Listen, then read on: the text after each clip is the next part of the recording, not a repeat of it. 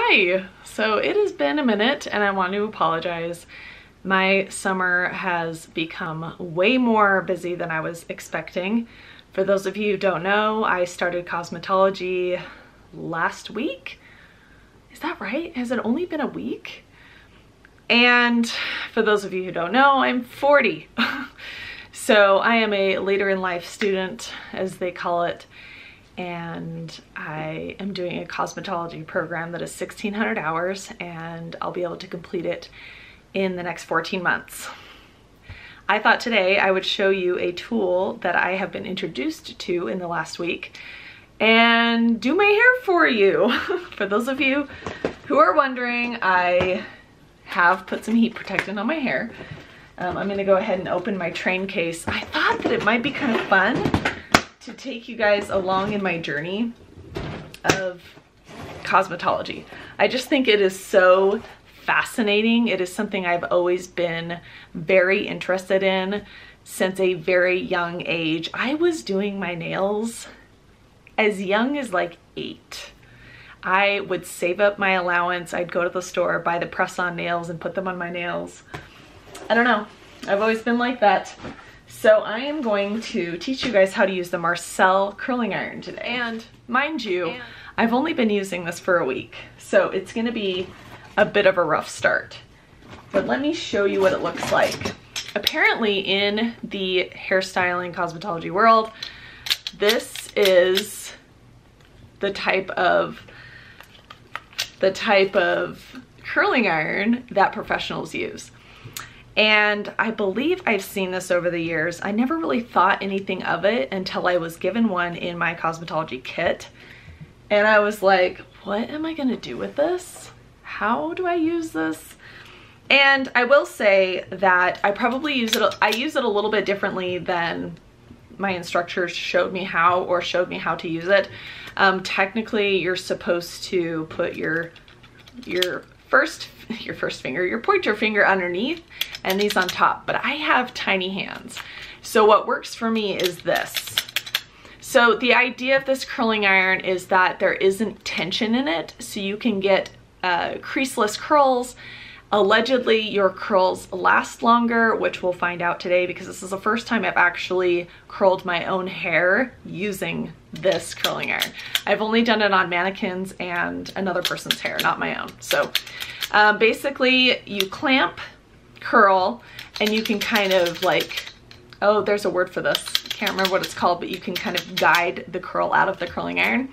Um, also, it spins. Like this is a spinning uh, handle, which when you see how this is used, it's gonna blow your mind. Let me plug this in.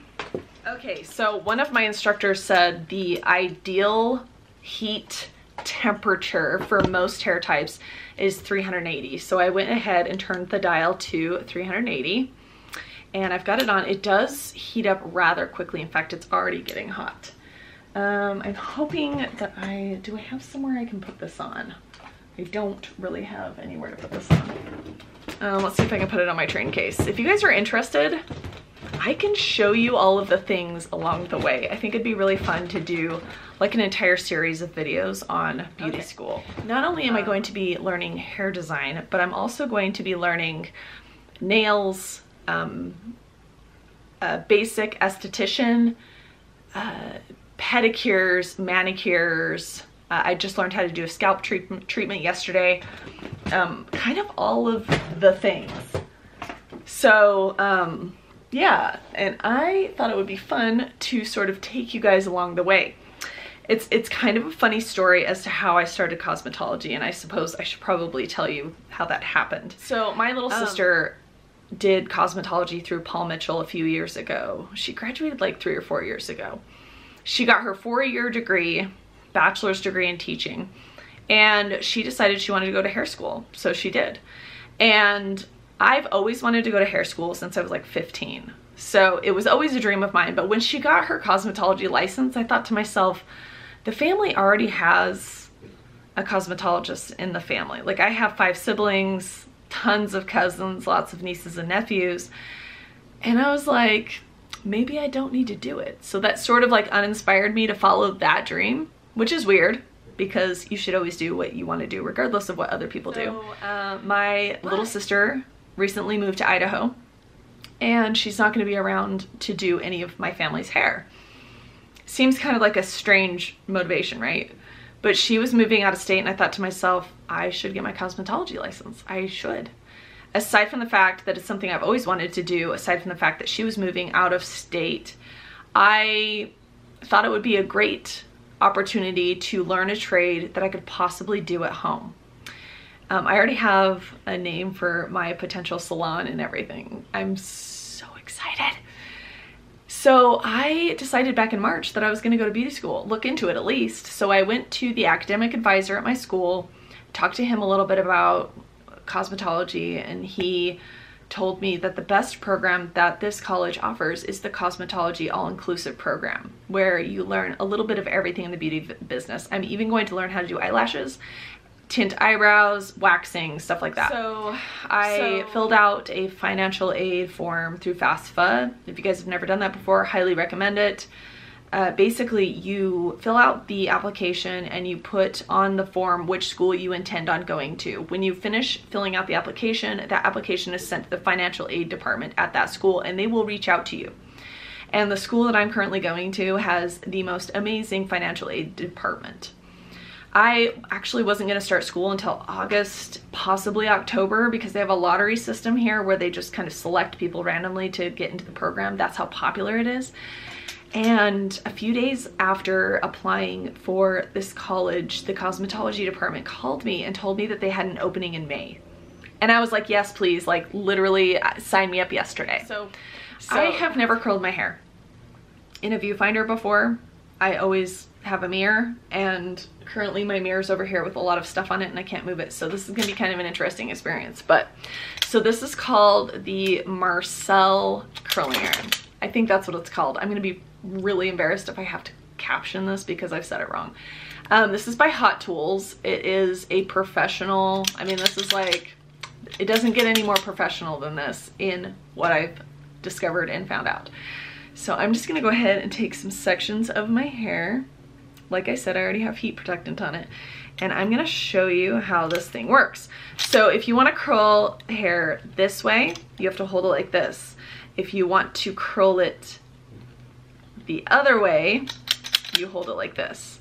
Um, so what I'm gonna be doing is I'm going to be, I'm gonna totally ruin this. Now I have a hard time, see, I've already messed it up. Um, I have a hard time uh, using it this way. I don't know why, it's like my brain doesn't work like that. But as you can see here, you have the ability to still curl the hair, but guide it through the curling iron by doing this. And you can get so many different types of curls. Let me see if I can get the kink out here. That's just great, Deb. So I'm going to use it like this. Okay, I'm, mind you, I'm still learning, okay? Bear with me. Um, so I'm gonna go ahead and try to uh, get that out. Oh my goodness, I'm not gonna be able to.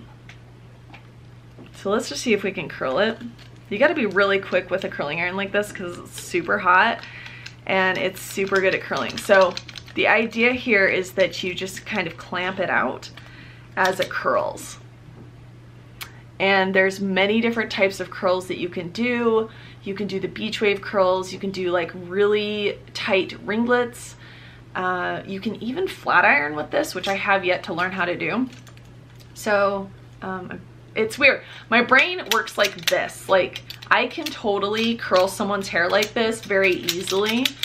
But when I go the other way, I, I like literally have to rethink about what I'm doing. I don't know what look I'm really going for at this point. I'm just trying to show you how this thing works. And I'm so used to using on someone else's hair that this is like really confusing me right now. okay. So I'm gonna do this. And you've gotta be really quick and that's it's actually you're not supposed to use two hands with it um, the idea is that you're supposed to kind of do this and then slowly let the hair out like that so that one actually turned out pretty good now my recommendation for curls is that you don't brush them out immediately if you want them to last longer because you want them to set before doing anything. So I'm gonna try to do this one-handed and see if, see? Okay, I'm getting better. See how that just spins in your hand? It's pretty amazing. Okay, ah, I've lost it, ah, but that's okay. I'm not really going for anything fancy today, but let's see if we can recurl this and kind of hide some of the kinks here. Okay, see, here I am again. Like, how do I use this? Okay, we're gonna go up a little bit higher. And you can also do like curls at the top of your head, which gives you volume. There's so many options with this curling iron. I already love it and I've only been using it a week.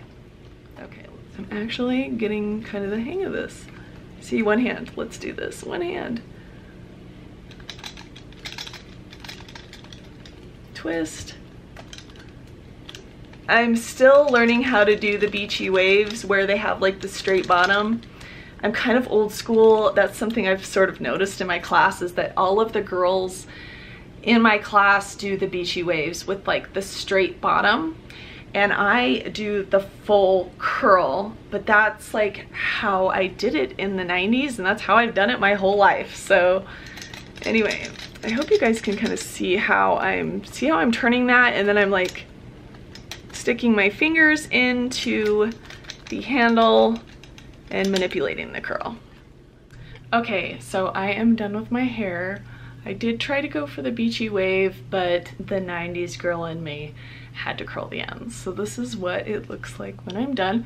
I'm genuinely curious to see if the curls really do stay longer like all of my instructors said it would.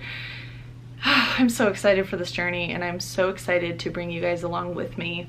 I think I'm going to do a video next on my train case and the supplies that I got for school.